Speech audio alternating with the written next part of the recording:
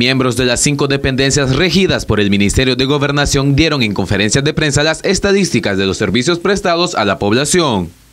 La Dirección General del Sistema Penitenciario Nacional brindó 42.268 servicios, entre estos 9.378 presos y presas y 797 familiares en atenciones y servicios garantizados como actividad de sol, actividades evangélicas y católicas y conversatorios. Otras dependencias como la Dirección de Atención a Cognacionales y el Departamento de Control y Registro de Organismos sin fines de lucro atendieron diferentes solicitudes comprendidas en su índole.